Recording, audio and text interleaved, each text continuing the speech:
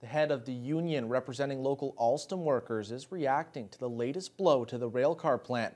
The Toronto Transit Commission has withdrawn its request for proposals to produce 480 subway cars due to a lack of government funding. Alstom was one of four companies which pre-qualified to submit bids for the massive $2.3 billion contract.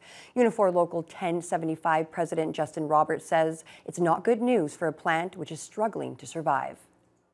Oh, well, we are very disappointed that the contract's been uh, put on hold. Um, that contract was very important to us for our future.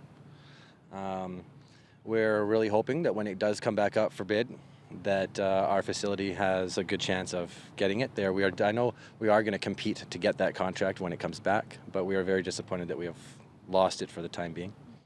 The local plant has produced hundreds of Toronto subway cars in the past, and Roberts was hoping this new contract could help bring back the workforce to the previous levels. Around 900 employees were laid off in 2020 when several contracts ended.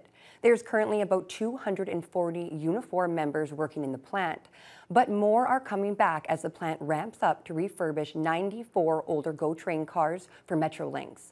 Meanwhile, the first of 60 new streetcars for the TTC was just delivered this week, but the plant needs another contract soon.